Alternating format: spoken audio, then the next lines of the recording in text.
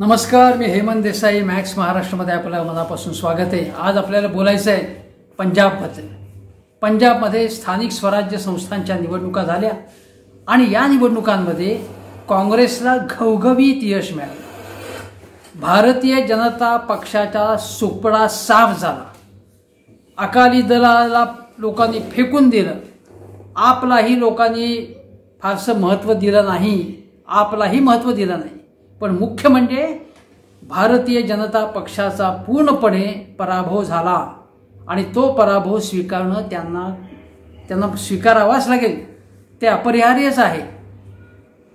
ज्या शेतकऱ्यांनी अभूतपूर्व असं आंदोलन ऐतिहासिक आंदोलन पंजाबमध्ये केलं हरियाणात केलं दिल्लीच्या सीमांपाशी करता आहेत ते सगळ्या देशभर आंदोलन सुरू आहे. आणि आजही रास्ता रोको रेल्वे रोको ही आंदोलनं आजही पंजाब हरियाणा उत्तर प्रदेश या ठिकाणी सुरू आहेत. ती यशस्वी होत आहेत. कितीही दहशतवादी वरवंटा फिरवण्याचा प्रयत्न केला मोदी सरकारने तरीसुद्धा शेतकरी ऐकायला तयार नाही. आणि शेतकऱ्यांनी या बळीराजांनी उन्मत्त सरकारच्या केंद्र सरकारच्या सणसणीत श्रीमुखात मारलेली आहे पंजाबमध्ये. आणि म्हणून पंजाबच्या जनतेचं विशेष कौतुक करायला पाहिजे. की इतकी दहशत इतकी वेगवेगळ्या प्रकारची दडपणं इतकी प्रतिकूल परिस्थिती असतानाही ते निडरपणे उभे राहिले आहेत. आणि त्यांच्या मागे देशातल्या बहुसंख्य शेतकरी वर्ग हा त्यांच्या मागे उभा आहे. भाजपचे जे पोपट आहेत जे प्रवक्ते आहेत जे नेते आहेत त्यांच्या त्यां त्यांचं जे काही म्हणणं आहे शेतकऱ्यांच्या बाबत ते लोकांना पटलेलं नाही. आणि म्हणून पंजाबमधल्या या पराभवाची दखल घेऊन भारतीय जनतेने भारतीय जनता पक्षाने आता पुन्हा एकदा आत्मपरीक्षण केलं पाहिजे. थोडं स्वतःकडे पाहिलं पाहिजे. आम्ही म्हणतो तोच विकास आम्ही ज्या पद्धतीने करू बघतो तोच विकास असं चालत नाही. कारण हा लोकशाही देश आहे. आणि म्हणून पंजाबमधल्या जनतेने हा जो पराक्रम केला आहे त्या निमित्त पंजाबमध्ये अनेक मिरवणुका निघाल्या गुलाल उधळला गेला भांगडा केला लोकांनी. आणि मला या गाण्याची आठवण झाली रंग दे बसंतीमधलं गाणे बघा. ते गाणं आहे सपने रंग दे अपने रंग दे खुशिया रंग दे गंभीर रंग दे नसले रंग दे फसले रंग दे रंग दे धडकन रंग दे सरगम. रंग दे सूरत रंग दे दर्पण. मोहे मोहे तू रंग रे बसंती यारा मोहे रंग तू बसंती यारा. हे जे गाणं आहे प्रसिद्ध रंग दे बसंती या चित्रपटातलं त्या गाण्याची आठवण झाली. इतका आनंद पंजाबमध्ये आज. सर्वत्र आज आणि काल प्रदर्शित झाला आनंदाचं आपल्याला पूर्णपणे आनंदाचा सोहळा दिसला. आणि याचं कारण पंजाबमधल्या महानगरपालिकांच्या निवडणुका झाल्या. त्या ठिकाणी बहुतेक ठिकाणी मोठमोठ्या महानगरपालिका त्या ठिकाणी काँग्रेसला यश आलेलं आहे. आणि त्या महानगरपालिका आपल्याला माहिती आणि त्यामध्ये भटिंडासारखी जी महानगरपालिका तिथे तर त्रेपन्न वर्षांनी काँग्रेसला यश मिळालेले आणि आणखीन त्याचं वैशिष्ट्य म्हणजे एकशे नऊ ठिकाणी ज्या नगरपालिका आहेत नगरपंचायती आहेत त्यापैकी बहुतांश ठिकाणी काँग्रेसला यश मिळालेलं आहे. काँग्रेसच्या दृष्टीने हा खूपच आश्वासक असा विजय आहे. कारण काँग्रेस सगळ्या देशात ठिकठिकाणी फक्त पराभवच ते काँग्रेसला बघायला लागतोय. सारखी ठेसका येते काँग्रेस? काँग्रेस उठून उभा राहतीये निर्भयपणे लढती असं देशभर ठिकठिकाणी अजिबात दिसत नाही पण पंजाबमध्ये दिसत आहे पंजाबमध्ये गेल्यावेळी सुद्धा कॅप्टन अमरिंदर सिंग यांच्या नेतृत्वाखाली काँग्रेसला विजय मिळाला आणि ते श्रेय एकट्या अमरिंदर सिंग यांचं आहे. गेल्या वेळेचं यश. त्यानंतर लोकसभा निवडणुका झाल्या त्यातही त्यांनी यश मिळवलं. अठरा एकोणीसपैकी डझनभर जागा त्यांना मिळाल्या. आणखीन एक काही ठिकाणी जो पराभव अगदी थोड्या मतांनी झाला. आणि पुन्हा हा विजय मिळाला त्या विजय मिळवला त्यांनी सातत्य अमरिंदर सिंग यांच्या विजयामध्ये. आणि यावेळी बघा आपण की नगर पालिका महानगरपालिका बघितल्या आपण. त्यामध्ये मोगा होशियारपूर भटिंडा पठाणकोट या महापालिका पूर्वी अकाली दल आणि भाजपकडे होत्या. मोठमोठ्या ज्या महानगरपालिका. आता दोन्ही पक्ष यावेळी स्वतंत्रपणे लढले. पण अकाली दल कृषी कायद्यांच्या मुद्द्यांवर जो सरकारमधनं बाहेर पडला. पण अभोर बाटला कपूरथला इथे ज्या निवडणुका झाल्या आहेत प्रथमच महानगरपालिका त्या सर्वत्र काँग्रेसला विजय मिळाला आहे. नगरपालिकांपैकी मी म्हटलं मग अशी एकशे नऊपैकी बहुतांश जागा मिळाल्यात आणि एकूण अठराशे सतरा प्रभागांपैकी काँग्रेसने अकराशे दोन प्रभागात विजय मिळवला. आहे शिरोमणी अकाली दलाने दोनशे बावन्न आम आदमी पक्षाने एक्कावन्न भाजपने एकोणतीस बसपने पाच प्रभागांमध्ये विजय मिळवला आहे. म्हणजे पंजाबमध्ये लोकसभेमध्ये काँग्रेसचा विजय झाला विधानसभेमध्ये गेल्या वेळी झाला होता.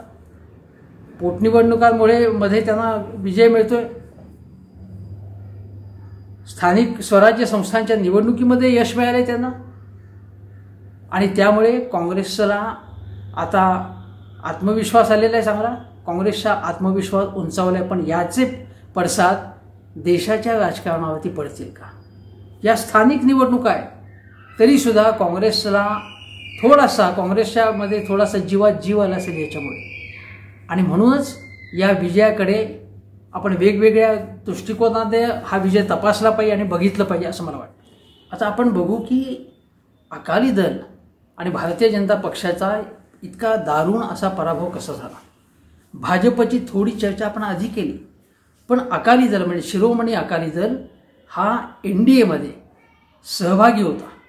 परंतु कृषी कायद्यांच्या प्रश्नांवर त्यांच्या मंत्री हरसिमरत कौर बादल यांनी ज्या फूड प्रोसेसिंगच्या मंत्री होत्या केंद्रात मंत्री होत्या त्यांनी आपल्या पदाचा राजीनामा दिला. पण तरीसुद्धा लोकांना हा राजीनामा किंवा लोकांना त्यांचा या कायद्यांना असलेला विरोध हा पटला नाही. विरोध म्हणजे कसा? की तुम्ही जेव्हा कायदे तयार होत होते तेव्हा तुम्ही काहीच केलं नाही. आणि ज्यावेळी त्याच्या पुढचं पाऊल पडलं तेव्हा तुम्हाला लक्षात आलं की अरे हे काहीतरी गडबड आहे. आता जनमत बदलत चाललेलं आहे. आणि तेव्हा तुम्ही राजीनामा दिला. आणि मग शिरोमणी अकाली दल हा स सरकारच्या बाहेर पडला. तो बाहेर पडल्यानंतर भाजपने सुद्धा सांगितलं की तुम्हाला विश्वासात घेतलं होतं. कॅबिनेट मिटिंग्सला तुम्ही हजर होतात. त्यामुळे अकाली दलाचं शिरोमणी अकाली दलाचं हे याच्याबद्दलची ढोंगबाजी जी आहे ती उघड झाली. की त्यांनी अगोदर याला विरोध केला नव्हता उलट पाठिंबा दिला होता आणि मग पलटी खाली जनमत बघून लोकांचा मूड बघून. त्यामुळे शिरोमणी अकाली दलाला लोकांनी पूर्णपणे नाकारलेलं आहे. शिवाय शिरोमणी अकाली दल आणि भाजप यांची अनेक वर्षांची युती होती आघाडी होती. आता जे आंदोलन चालू आहे त्या आंदोलनामध्ये खलिस्तानी प्रवृत्ती कशा घुसलेल्या आहेत हे दाखवण्याचा वेगवेगळ्या पद्धतीने प्रयत्न केंद्र सरकारतर्फे चाललेला आहे.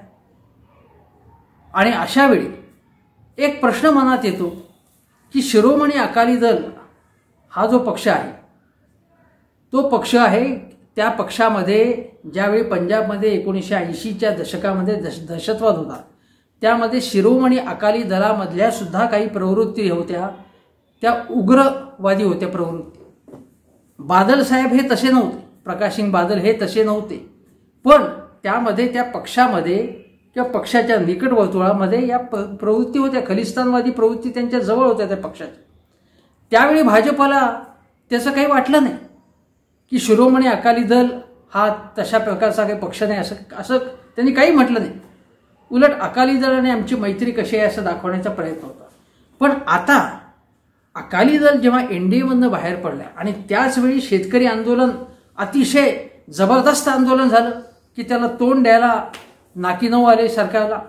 मग त्यानंतर त्यानंतर एक आपलीच काही आपलीच काही पंटर हे त्या आंदोलनामध्ये घुसवून त्यामधनं हिंसा घडवून जे ट्रेलर्स हे वाहनं आली दिल्लीमध्ये त्या वाहनांना वेगळीच दिशा सांगून वेगळ्या दिशेने जायला सांगून मग त्यामधनं एक हिंसा घडवण्याचा एक पद्धतशीर कट रचण्यात आला की काय अशी शंका यावी असं दिसतंय. याची चौकशी होऊन दोषींना कारवाई शिक्षा व्हायला पाहिजे पण तसं आपल्या देशात बहुता बहुतांशी घडत नाही. त्यामुळे ती आपण अशा सो सोडून देऊ. पण भारतीय जनता पक्षाने या हे आंदोलन ऐतिहासिक आंदोलन फडणवीसांचा लाडका शब्द आहे. काहीही त्यांनी केलं तरी ते ऐतिहासिक असतं. ऐतिहासिक कर्जमाफी ऐतिहासिक परदेशातली गुंतवणूक त्याप्रमाणे आपण म्हणायचं नाही. पण हे खरोखरीच ऐतिहासिक आंदोलन आहे. आणि त्याची देश विदेशामध्ये दखल घेण्यात आलेली आहे. मोदी सरकारला काही वाटो. आणि या आंदोलनाचा परिणाम म्हणून भाजपचा आणि अकाली दलाचा लोकांनी पंजाबमध्ये स्थानिक स्वराज्य संस्थात पराभव केलेला आहे. आता तुम्ही म्हणाल की ह्या स्थानिक स्वराज्य संस्थांच्या निवडणुका आहे तिथे हे प्रश्न कुठे आले? कृषी कायदे वगैरे? पण आपण लक्षात घेतलं पाहिजे ते असं की या ज्या मंड्या आहेत ना मोठमोठ्या मंड्या ज्या वेगवेगळ्या शहरांमध्ये असतात कृषी उत्पन्न बाजार समिती असतात मंड्या असतात आणि त्याला लागून तिकडे सगळा शेतकरी माल आणतो. तेव्हा या मंड्या त्या ज ज्या शहरात किंवा ज्या नगरात किंवा छोट्या शहरात छोट्या गावात आहेत त्यांचा आणि गावाच्या अर्थव्यवस्थेचा शेतकऱ्यांचा खूप घनिष्ठ संबंध असतो. शिवाय पंजाबची अर्थव्यवस्था बहुतांशी अर्थव्यवस्था अन्य देशापेक्षाही कृषीप्रधान अर्थव्यवस्था आहे. जवळपास सगळी अर्थव्यवस्था ही शेतीवरती अवलंबून आहे. त्यामुळे हे काळे कायदे जे आहेत ह्या काळ्या कायद्यांमुळे संताप तिथल्या लोकांचा अनावर झाला आणि त्यांनी भाजप आणि अकाली दल या दोघांनाही नाकारलेलं आहे हे आपण लक्षात घेतलं पाहिजे. पंजाबमध्ये मुख्यमंत्री कॅप्टन अमरिंदर सिंग यांची लोकप्रियता अजूनही कायम आहे.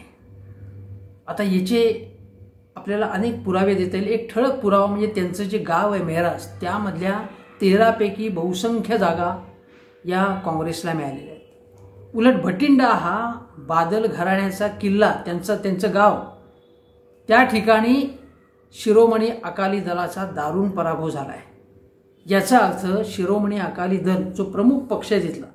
भाजप कसा आहे पक्ष? भाजप हा तिथल्या प्रादेशिक पक्ष ज्या ज्या राज्यामध्ये असतो त्या प्रादेशिक पक्षाला लटकतो आधी. आणि लटकल्यानंतर हळूहळू हळूहळू तो त्याच्या मदतीने वाढतो. आपला जनाधार वाढवतो. गोड गोड बोलून त्या जनाधार आपला वाढवतो. आणि एकदा जनाधार वाढला की ज्याला लटकलेला तो पक्ष आहे त्या पक्षाला फेकून देतो. आणि हे आपण महाराष्ट्रात बघितलं. शिवसेनेचं काय झालं? तिकडे अकाली दलाचं ते काय करतायत? ओडिशामध्ये सुद्धा भाजपचा असाच प्रयत्न होता. आपण नवीन पटनाईक हे हुशार निघाले. त्यांनी भाजपालाच फेकून दिलं. आणि भाजपाला फेकून देऊन सुद्धा स्वबळावरती लोकसभा असतील विधानसभा असतील स्थानिक स्वराज्य संस्था ग्रामपंचायती जिल्हा परिषदा सगळीकडे सातत्याने विजय मिळवला आहे त्यामुळे नवीन पटनाईक यांच्या विरुद्ध उभं राहण्याची या मंडळींची ताकद नाही. पण आता पश्चिम बंगालमध्ये निवडणूक आहेत. तिथे ममता बॅनर्जी यांना आम्ही सळो की पळो करून सोडू. त्यांच्याबरोबर कुणी राहणार नाही अशी दरपोक्ती केंद्रीय गृहमंत्री अमित शहा हे करत आहेत ममता बॅनर्जी त्यांना पुरून ओत आहेत का काय हे कळेलच आपल्याला. पण कुठल्याही भल्या बुऱ्या मार्गाने तृणमूल काँग्रेसला खतम करायचे बेत चाललेले आहेत. आणि त्यासाठी मग मग मिथुन चक्रवर्तींना सरसंघचालक भेटतील. भेटले. सौरव गांगुलीला घोळात घेण्याचा प्रयत्न झाला. कुठल्याही मार्गाने जो आपल्याबरोबर येईल जो लोकप्रिय आहे तिथला त्याच्याशी गोड गोड बोलून त्याला आपल्याबरोबर आणायचं आणि मग हातपाय पसरायला लागायचं ही भारतीय जनता पक्षाची नीती आहे. पंजाबनंतर आता या पंजाबच्या स्थानिक स्वराज्य संस्थाच्या निवडणुका झाल्या. पण आता पश्चिम बंगालमध्ये निवडणूक आहेत केरळमध्ये आहेत पुदुचेरीला आहेत आसाममध्ये आहेत निवडणुका तामिळनाडूत आहेत. या सगळ्या ठिकाणी भारतीय जनता पक्ष हातपाय पसरण्याचा प्रयत्न करतो आहे. पण असंच त्यांनी वर्तन चालू केलं तसंच असंच बेलगामपणे वागणं चालू ठेवलं शेतकऱ्यांच्या शेतमजुरांच्या कामगारांच्या गाऱ्हाण्यांची दखलच घेतली नाही तर भाजपला फटका बसेल. ज्याप्रमाणे नागरिकत्व कायद्याबाबत असेल किंवा एन आर सीबाबत एन पी आरबाबत आसाममध्ये बोलताना यांची भाषा वेगळी असते. ती अतिशय चलाखी चलाख पद चलाखीच्या पद्धतीने वागणारा हा पक्ष आहे म्हणजे भाजप. हे आपण लक्षात घेतलं पाहिजे. परंतु आता इथे जे सांगायचं आहे ते मी तुम्हाला सांगितलं की भटिंडा आणि यांची गो या यांची गोष्टी सांगितल्या परंतु कॅप्टन अमरिंदर सिंग यांनी हे आंदोलन हँडल करताना काय केलं? तर त्यांनी पहिल्यापासून काँग्रेसचा या आंदोलनाला पाठिंबा आहे म्हणजे त्यांच्या गाराण्यांना पाठिंबा आहे असं स्पष्टपणे सांगितलं. विधानसभामध्ये या विधानसभेमध्ये पंजाब विधानसभेमध्ये या काळ्या कायद्यांचा निषेध केला. आणि वेगळे कायदे मंजूर करून घेतले. बहुमताने. भाजपचे काय दोन चार सदस्य होते ते आले नाही त्यांच्याबरोबर पण बाकीच्या सगळ्या सभागृहातल्या सदस्यांनी पाठिंबा दिला. आणि ते तो ते जी विधेयकं आहेत नवीन विधेयकं जी पंजाबच्या विधानसभेने पारित केली जी शेतकऱ्यांच्या गाऱ्हाण्यांची मागण्यांची दखल घेऊन अशी विधेयकं तयार केली होती. ती विधेयकं मंजूर करून राज्यपालांकडे पाठवली. राज्यपालांनी ती गृहमंत्र्यांकडे पाठवलीच नाहीत अजून किंवा त्याची काही त्याचा निवाडा झाला नाही तिथे. पण काँग्रेसने म्हणजे तिथे अमरिंदर सिंग यांनी स्पष्ट संदेश दिला की हे काळे कायदे आम्हाला मंजूर नाहीत. आम्हाला अशा अशा गोष्टी शेतकऱ्यांसाठी करायच्या आहेत. त्यामुळे शेतकऱ्यांमध्ये थोडा विश्वास निर्माण झाला. आणखीन एक गोष्ट अमरिंदर सिंग यांनी केली म्हणजे ते शेतकऱ्यांना घेऊन कार्यकर्त्यांना घेऊन या काळ्या कायद्यांचा निषेध करण्यासाठी दिल्लीच्या सीमे शी सीमेपाशी जाऊन पोहोचले. अगदी सुरुवातीच्या काळात जाऊन पोहोचले. त्यानंतर त्यांनी शेतकरी आणि केंद्र सरकार या दोघांच्या अतिशय टोकाच्या एक भूमिका आहेत आणि मध्ये काहीतरी मध्यम मार्ग निघावा म्हणून प्रयत्न केले ते अमित शहाना भेटले. त्यावेळी लगेच अशा बातम्या उठवण्यात आल्या की बघा हे अमरिंदर सिंग आहेत हे शेतकऱ्यांच्या विरोधात आहेत पण ते शेतकऱ्यांच्या विरोधात नव्हते. त्यांचं असं म्हणणं होतं आणि आहे की हे आंदोलन जर जास्त काळ चिघळलं तर त्यामुळे काय होणार आहे? तर पंजाबच्या अर्थव्यवस्थेवरती कृषी अर्थव्यवस्थेवरती शेतकऱ्यांच्या आमदानीवरती प्र विपरीत परिणाम होईल. शेतकऱ्यांना त्रास होईल त्याचा. पंजाबच्या सरकारचंही उत्पन्न बुडेल म्हणून काहीतरी मध्यम मार्ग निघावा काहीतरी मार्ग निघावा त्याच्या त्याच्यातून अशा अशी त्यांची भूमिका होती.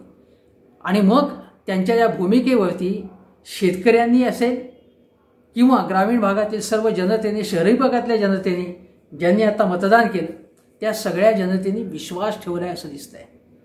कॅप्टन अमरिंदर सिंग हे काँग्रेसचे एक महत्त्वाचे नेते आहेत. आणि आपण त्यांच्याबद्दल थोडं जाणून घेतलं पाहिजे या निमित्त की एखाद्या नेत्याला काय यश मिळतं बाबा? कशामुळे मिळतं? आता मी काही भाग सांगितला अजून काही भाग सांगतो. कॅप्टन अमरिंदर सिंग यांनी शीख इतिहासावर पुस्तकं लिहिलेली आहेत. अरीश टू फार सारखी पुस्तकं.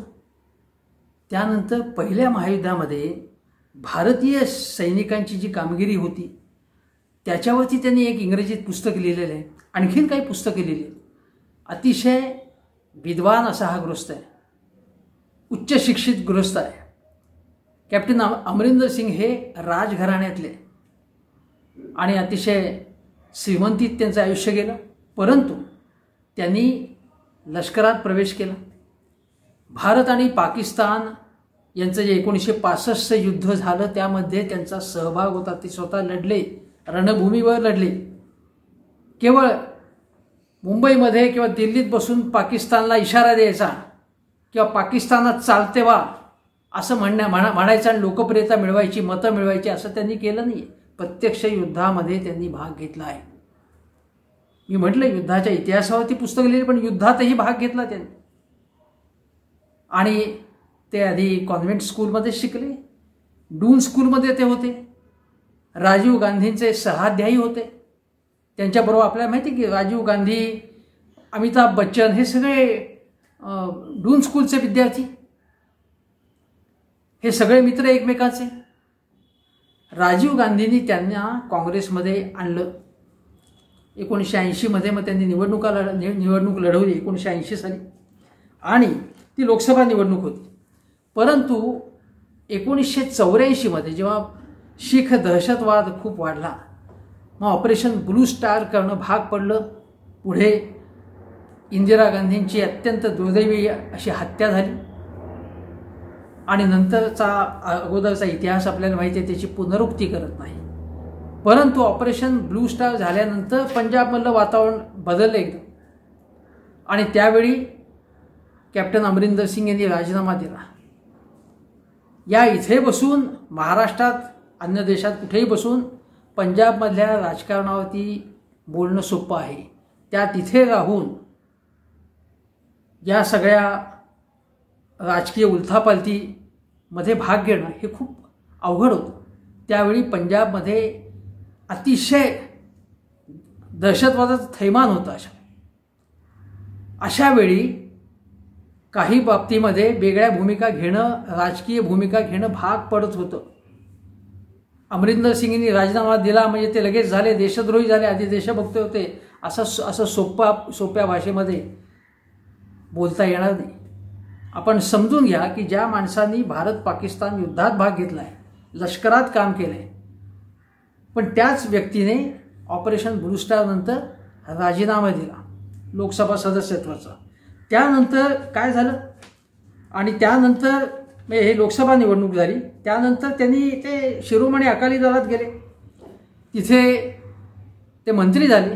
म्हणजे बघा आज जो काँग्रेसचा प्रमुख विरोधी पक्ष आहे शिरोमणी अकाली दलात कॅप्टन अमरिंदर सिंग गेले होते. मंत्री झाले. त्यानंतर तिथेही त्यांचे मतभेद झाले. मग त्यांनी स्वतःचा वेगळा गट स्थापन केला. तो वेगळा गट स्थापन केल्यानंतर मग काही वर्षांनी म्हणजे एकोणीसशे अठ्ठ्याण्णव अठ्ठ्याण्णव नव्याण्णवमध्ये ते परत काँग्रेसमध्ये गेले. आणि काँग्रेसमध्ये त्यानंतरच्या आपण जर बघितलं त्यानंतरच्या पंधरा वीस वर्षात सातत्याने ते कॅप्टन अमरिंदर सिंग तिथे प्रदेशाध्यक्ष म्हणून राहिले होते. ज्यावेळी शिरोमणी अकाली दल आणि भाजप यांचं सरकार होतं त्यावेळी कॅप्टन अमरिंदर सिंग यांच्या विरुद्ध चौकशा लावणं त्यांना त्रास देणं वेगवेगळ्या मार्गाने हे सगळे प्रकार झाले. ते सगळ्या प्रकारांना त्यांनी तोंड दिलं. प्रदेशाध्यक्ष म्हणून ते खमकेपणाने उभे राहिले. आणि त्यानंतर मोदी लाटेमध्ये सुद्धा पंजाबमध्ये अमरिंदर सिंग यांनी विजय मिळवला. त्यावेळी काँग्रेसचे कुठलेही पक्षश्रेष्ठी यांनी त्यांना त्या पक्षश्रेणींची त्यांना खूप मदत होती.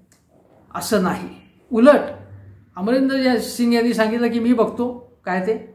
आणि त्यांनी पंजाबची म्हणजे लोकसभा निवडणूक असेल विधानसभा निवडणूक असतील त्या एक हाती लढवून विजय मिळवला. अरुण जेटली यांचा पराभव करणारे हे कॅप्टन अमरिंदर सिंग. सत्तेवरती जेव्हा पहिल्यांदा ते त्यानंतर आले म्हणजे मोदी लाटेत सुद्धा त्यांचं जेव्हा सरकार होतं जेव्हा विजय झाला तेव्हा. तेव्हा त्यांनी गव्हर्नन्सवरती भर दिला. खूप अनेक चांगली कामं केली. म्हणजे सिंचनाची कामं केली अनेक चांगली. शेतकऱ्यांना वेगवेगळ्या प्रकारे मदतीसाठीच्या कल्याणकारी योजना त्यांनी राबवल्या.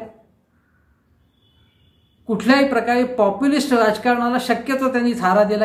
इंडस्ट्री जास्तीत जास्त यावी आपण आपल्याकडे यासाठी प्रयत्न केले. आणि त्यांनी सांगितलं की आता म्हणजे या निवडणुका झाल्या आता. म्हणजे आता पुढच्या वर्षीनंतर मी राजकारणामध्ये राहणार नाही असं त्यांनी अगोदरच सांगितलं गेल्या वेळी. पण पंजाबमधले प्रमुख जे नेते आहेत काँग्रेसचे त्यांनी सांगितलेलं असं की जरी अमरिंदर सिंग असं म्हणत असले तरी आम्हाला ते मान्य नाही. आम्हाला तेच पाहिजे आहेत त्यांची तब्येत ठणठणीत आहे. ते अतिशय चांगल्या प्रकारे राजकारण करतायत. काँग्रेसला त्यांनी अच्छे दिन आणून दाखवलेले. ते आम्हाला तेच पाहिजेत आणि म्हणून पुढच्या निवडणुकासुद्धा ज्या पुढच्या वर्षी होणार आहेत त्या निवडणुका अमरिंदर सिंग यांच्या नेतृत्वाखाली लढवल्या जाव्यात असं पंजाबमधल्या काँग्रेसच्या लोकांचं मत आहे. आता हे बघून आपण काय म्हणणार? काँग्रेसला अच्छे दिन ज्याने आणून दाखवले कॅप कॅप्टन अमरिं अमरिंदर सिंग त्यांच्यामागे पक्ष उभा राहणारच. पण या पंजाबच्या या सगळ्या विजयाचे जे शिल्पकार कॅप्टन अमरिंदर सिंग आहे त्यांचं नाव काही महिन्यांपूर्वी त्यांना काँग्रेस अध्यक्ष करावा असं सुद्धा काही जणांचं मत होतं. कारण कॅप्टन अमरिंदर सिंग हे जनाधार असलेले श्रेष्ठींच्या बळावरती किंवा त्यांची चमचेगिरी करून झालेले नेते किंवा मुख्यमंत्री नाही ते स्वबळावरती त्यांनी राजीव गांधींनी राजकारणात त्यांना आणलं त्यांनी त्यांच्या आग्रहस्थ ते आले. परंतु स्वबळावरती त्यांनी लोकप्रियता मिळवली जनाधार वाढवला काँग्रेसचा. त्यामुळे असे नेते जर काँग्रेसला मिळाले तर पंजाबसारखं यश अन्य राज्यात सुद्धा मिळू शकतं. महाराष्ट्रामध्ये आता नाना पटोले आलेले चांगली गोष्ट आहे. महाराष्ट्रामध्ये सुद्धा काँग्रेस जर जोरात आणखीन वाढली तर उत्तम गोष्ट आहे. बाळासाहेब थोरात यांनी आपल्या परीने प्रयत्न केले आता नाना पटोले यांनी प्रयत्न करावेत पण केवळ महाराष्ट्राचा विचार न करता आपण वेगवेगळ्या राज्यांचा विचार केला तर पंजाबचं मॉडेल काँग्रेसच्या अन्य राज्यांनी अन्य राज्याच्या नेत्यांनी समोर ठेवलं तर त्यांना अच्छे येतील कॅप्टन अमरिंदर सिंग यांनी केवळ मोदींना किंवा बादल यांना शिव्या घालत राजकारण केलं नाही. त्यांनी आपले पर्यायी योजना पर्यायी कार्यक्रम लोकांपुढे ठेवले. सातत्याने लोकांमध्ये राहून काम केलं. आणि म्हणून त्यांना पुन्हा पुन्हा विजय मिळत मिळत मिळतोय. हे आपण लक्षात घेतलं पाहिजे. जो लोकांमध्ये काम करणारा नेता आहे त्याला विजय मिळतोच शक्यतो विजय मिळतोच. त्याच्या ते संघटनात्मक शक्ती त्याच्यामागे असेल त्याला विजय मिळतो. आणि असा विजय कॅप्टन अमरिंदर सिंग यांनी मिळवून दिलेला आहे. पण यामधला सगळ्यात महत्त्वाचा संदेश असा आहे की भाजपचे तिथे वाट लागलेले स्थानिक स्वराज्य संस्थांमध्ये आता तरी भाजपचे डोळे उघडणार आहेत का? भाजपचे अनेक मंत्री वाटेल ते बोलतात. आता आपल्याला माहिती आहे मंत्री काय? खुद्द पंतप्रधान तक्षशिला बिहारमध्ये तसं म्हणाले होते. त्रिपुराचे मुख्यमंत्री म्हणाले विप्लवजी की श्रीलंका श्रीलंकेमध्ये नेपाळमध्ये आम्ही आमची सरकार भाजप सरकार स्थापन करणार आहोत. आता हे कमालच आहे म्हणजे. एका देशातला पक्ष दुसऱ्या देशामध्ये सरकार स्थापन करू शकतो. काय चाललंय? कोणी म्हणते की सहाशे कोटी लोकांनी आम्हाला निवडून दिले म्हणजे सगळ्या जगाने भारतीय जनता पक्षाने निवडून दिले काय चाललंय? हे ही अशी बेफाम वक्तव्य करणं शेतकऱ्यांना बदनाम करणं आपल्या विरुद्ध जे आंदोलन करतात त्यांना आंदोलनजीवी म्हणणं भाजपने हा सगळा उत्मात थांबवला पाहिजे. महाराष्ट्रात सुद्धा भाजपचे काही नेते जे आहेत ते अत्यंत बेफामपणे बोलतात. विरोध विरोधी पक्ष म्हणून तुम्ही चांगलं काम करा.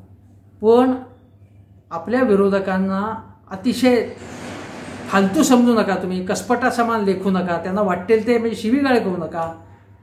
हे सगळ्याच पक्षांना सांगावं लागतं. मी एक शेव तुम्हाला शेवटची गोष्ट सांगतो. माझ्यासारख्या व्यक्तीला सुद्धा मी कुठल्याही एका पक्षाच्या बाजूने बोलत नाही.